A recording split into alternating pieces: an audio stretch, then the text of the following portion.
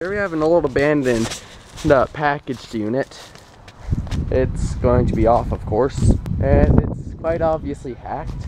And it looks like some vandals with ladders got up there and tried to break into the unit, because right there's one of the panels for it. Come on, focus. See, there's one of the panels right there.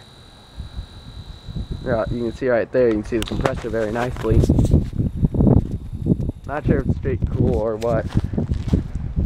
I, I think it's a heat pump. Right there you can see the blower inside of it. But this unit is quite obviously hacked. But I think it might be a gas pack because it looks like it has a natural gas line into it. No, that's kind of hard to tell. Right there you can see it's hacked. Oh yeah, an old abandoned air conditioner on not an abandoned building. Over and out.